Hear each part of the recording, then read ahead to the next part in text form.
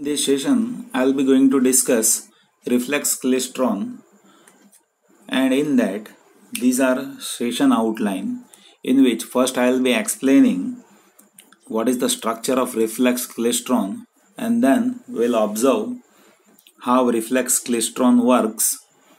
And then we'll see based on its working how Applegate diagram is there.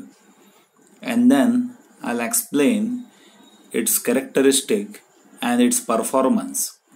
And at the end we'll see some applications which is there with reflex klystron so let us begin with first topic. So that is structure of reflex klystron so in this structure of reflex klystron we can see here electron gun is there. And this electron gun is connected with negative terminal of anode and positive terminal of that is connected with anode cavity and here we are connecting repeller with negative terminal of repeller voltage. Now here in this complete structure as we give anode voltage to electron gun electrons are generated from electron guns and they are emitted in this direction. So here what happens is generated electron will move towards this direction and it will get collected in this anode cavity. So let us have few electrons. So if I say this is the most early electron which is over here and then after there is reference electron which is little delayed with respect to early electron and this electron is late electron. So these three electrons now moving towards this direction. Now what happens is when these electrons are moving some electrons crosses this anode cavity so it is not like all electrons that is getting collected over here. Some electrons that will crosses this anode cavity. And the space from anode cavity to repeller electrode that space is called as repeller space. Now what happens is those electrons which is moving further in repeller space they will get repelled by repeller electrode the reason is we are connecting negative terminal of repeller voltage to repeller electrode. So electrons are of negative charge and if negative potential is generated at repeller electrode then there will be a repulsive force by this repeller electrode. So this electron now they will move in this direction but due to repulsive force by repeller electrode again they will get recollected by having bouncing from repeller and they will go into anode cavity. So those electrons which is moving in that direction that will be repelled by repeller electrode and now these electrons will move into anode cavity. Now what is happening inside? Generally electrons are continuously generated by this electron gun. Some electrons are early electron, some electrons are reference electron and some electrons are late electrons. But the case which we wanted to have over here is we want to have bunching of electrons. So how can we bunch those electrons together? So what happens is when these electrons are moving in this direction and those early electrons which will be having more time to travel in this space. So there will be less amount of repulsive force which will be there because of this repeller electrode. So because of less force acceleration coefficient is less so its velocity is less.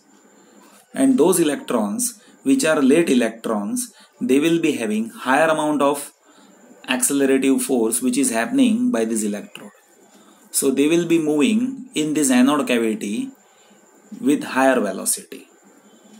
So ultimately at the end what happens is those electrons are getting collected as a bunch in this cavity and at this cavity we are connecting RF output coaxial cable.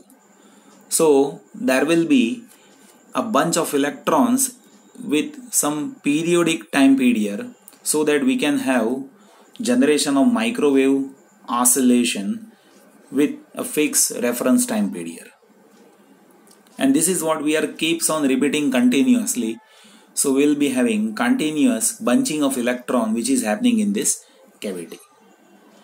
So ultimately basic operation is here electron gun is generating electrons that is actually moving in this anode cavity but some electrons are drifting towards repeller space.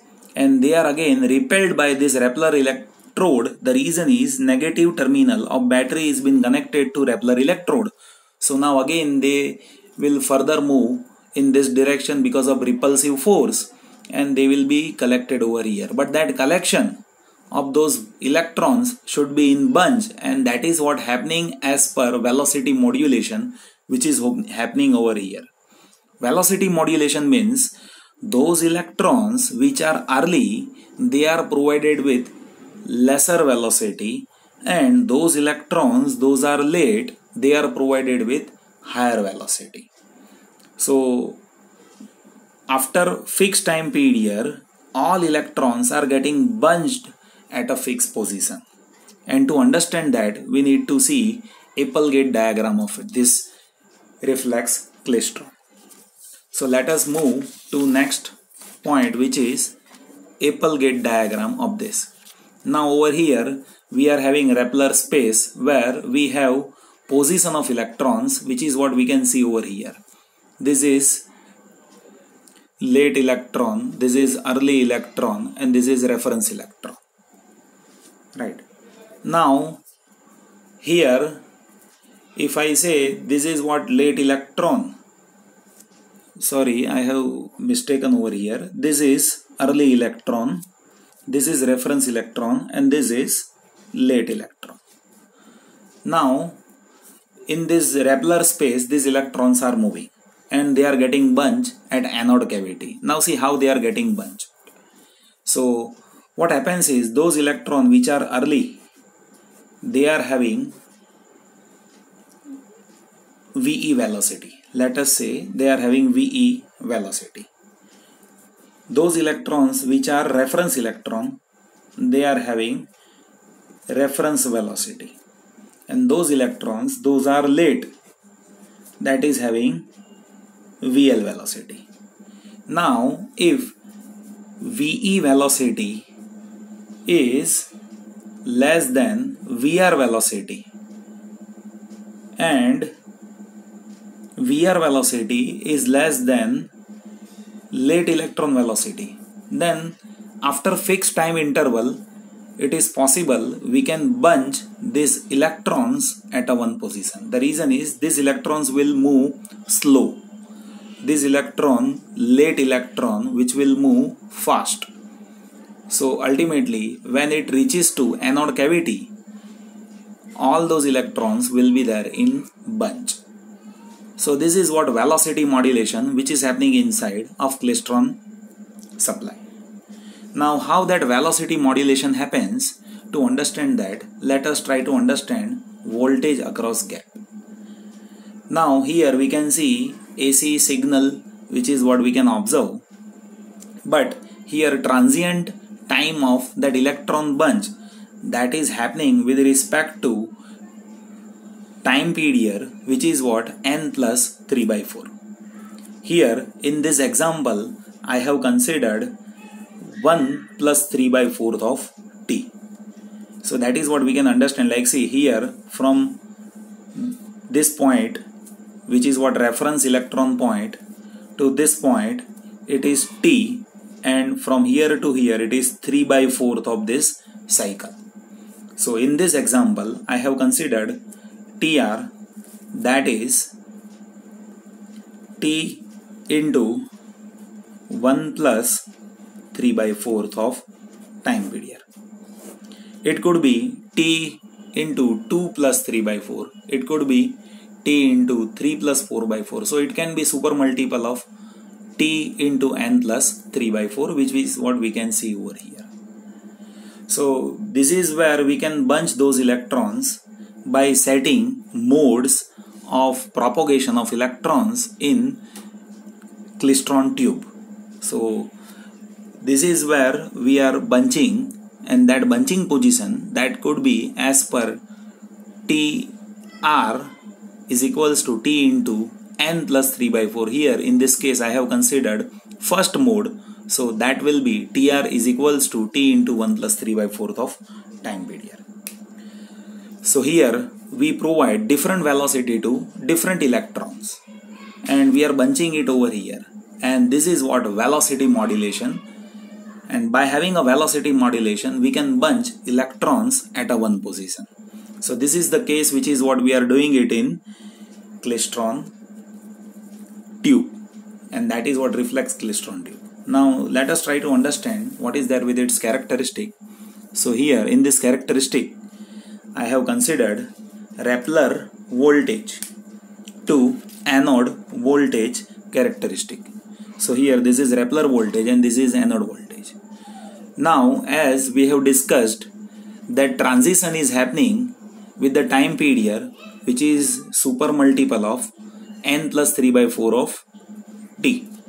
So here we can see that transition that is having characteristic which is super multiple of n plus 3 by 4 of t. And with different mode we are having bunching of electrons. So if we see this for first mode then that is over here which is what? 1 plus 3 by 4th of t. So for that we will be having proper signal transformation which is what propagating in even waveguide if we connect that klystron supply then this is what the case which we can see with tr is equals to 1 plus 3 by 4th of t. Now next transition that will happen at tr is equals to 2 plus 3 by 4th of t and that is this.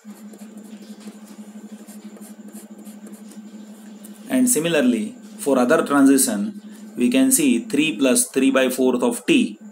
So that is where another transitions were happening and this is for 4 plus 3 by 4th of t and this is what 5 plus 3 by 4th of t.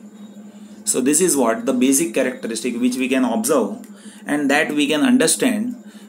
For example if you connect reflex klystron supply and if you vary anode voltage and repeller voltage we can observe signal transformation is happening in rectangular waveguide at some repeller voltage and some anode voltage. So those some anode voltage and some reference voltage transformation of signal that could be there in with respect to these zones. Like say this zone which is what the zone where transition is happening at 1 plus 3 by 4th of t. It may be in this zone or this zone or this zone. That depends what is the value of repeller voltage and what is the value of anode voltage.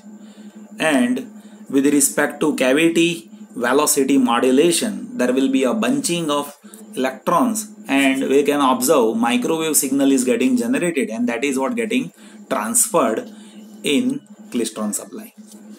Now let us move on to what are the performance parameter which is what available with reflex klystron.